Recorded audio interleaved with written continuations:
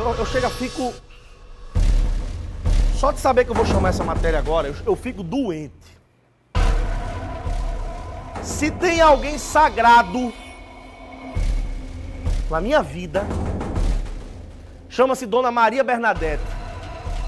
Professora Bernadette. Minha mãe. Mãe não se bate nem com a rosa de brincadeira. Quando se é criança, às vezes, né? Algumas crianças traquinas, enfim. Mas olha isso, gente.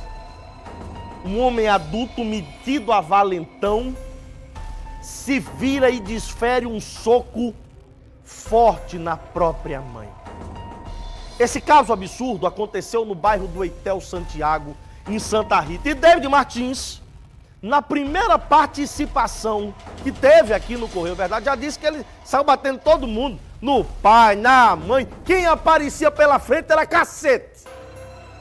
E ele tem todos os detalhes sobre essa ocorrência policial que já está sendo investigada. Inclusive o camarada está preso, né, David? É com você.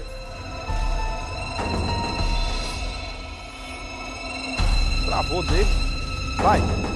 É, o caso repercutiu muito rápido nas redes sociais e chamou a atenção da Polícia Civil e também da Polícia Militar.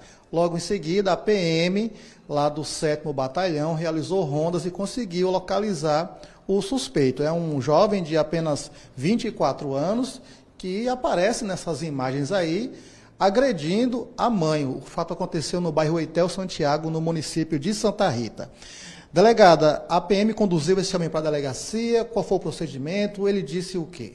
É, ontem à noite, nós estávamos no plantão da Delegacia da Mulher, quando chegou a PM com esse caso, né, por volta de umas oito, onde reportou de que esse cidadão estaria agredindo a família, e em especial a mãe.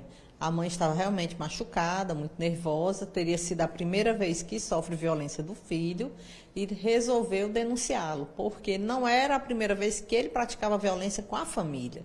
Ele já tinha batido no pai, já tinha batido no irmão e ontem, além de ter batido em todos, também bateu na mãe e ameaçou matar toda a família. Então, baseado em tudo isso, ela procurou a delegacia, representou criminalmente, submeteu-se a exame traumatológico e também requereu uma medida protetiva de urgência. Esse homem ele foi localizado onde? Estava em casa? Como é que foi essa diligência da PM? Foi no, ele estava no meio da rua, estava ainda fazendo um conflito. Tanto é que existe um vídeo né, dos vizinhos que filmaram. Ele estava muito agitado, muito alterado. E a polícia militar rapidamente chegou ao local, conseguiu efetuar a prisão dele lá na, no local mesmo e trouxeram para a delegacia. Agora, a mãe, ela, ela conta que nunca foi agredida por ele, mas como era o comportamento dele? Ela disse que quando ele chegava em casa drogado, ele era muito agressivo com as pessoas, com os, com os irmãos, com o pai, com palavrões, com grosserias, com violência física, inclusive, quebrava objetos em casa, só não tinha ainda partido para a violência física a ela, por isso que ela não tinha ainda tomado uma decisão, porque é difícil para uma mãe né, denunciar seu próprio filho. Então, no momento que ele ultrapassou esse limite de ter ferido a própria mãe, é que ela veio à delegacia tomar as providências. Agora, a senhora estava me contando que é, ele é um homem de 24 anos que nunca teve problemas com a polícia, chegou a ser conduzido uma vez, mas uma coisa que foi resolvida na delegacia mesmo, né? Não tinha uma ficha criminal ainda não. Não, não, não tinha.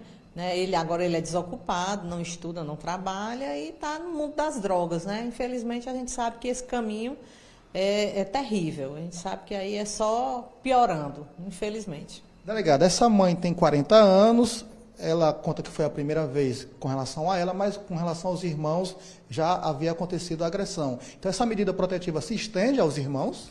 É, ao meu entendimento, sim, já que moram todos no mesmo lugar, no mesmo endereço. Então, vai acabar estendendo para todos, né? Ele não pode se aproximar daquela região que mora a família. Então, o procedimento adotado pela senhora foi prisão em flagrante? Foi, foi feita a prisão, foi encaminhado ele para a central, né, para aguardar audiência de custódia. Ouvi também o pai, o pai também estava ferido, foi submetido a exame, para complementar as investigações, né? Agora, é importante a colaboração dos vizinhos, né, que filmaram aquilo ali e também acionaram a polícia para poder é, ajudar essa família, né? Exatamente. A sociedade toda tem que colaborar, né? Quando se está vendo um crime, se está assistindo uma situação dessa, tem que realmente acionar a polícia, filmar, mostrar, para poder acabar um dia com toda essa situação. Quanto mais se divulga, mais se inibe a criminalidade. Muito bem, delegada, muito obrigado. É isso, eu volto com você. Esse homem deve passar por audiência de custódia aqui, daqui a pouquinho, e aí vamos esperar qual vai ser a decisão da justiça. Se ele é, será mantido preso, né, a prisão em flagrante convertida em prisão preventiva, ou se ele vai ser liberado para responder em liberdade. Eu volto com você. Agradeço, David, meu irmão, a você, a delegada a mim, obrigado. Eu quero saber o que é que você pensa sobre isso. Não só sobre isso. O assunto que nós abrimos o programa de hoje também não é o caso da soltura da Amanda após nove meses de prisão. Agora, esse infeliz acertando um soco, empurrando a mãe, agredindo o pai. Parece que tá com o diabo no couro, né? Um neném desse. Neném, nem estuda nem trabalha. Só é brabo, valente. Mas parece que quando chegou na, na, na prisão aí ficou bem mais calminho, né?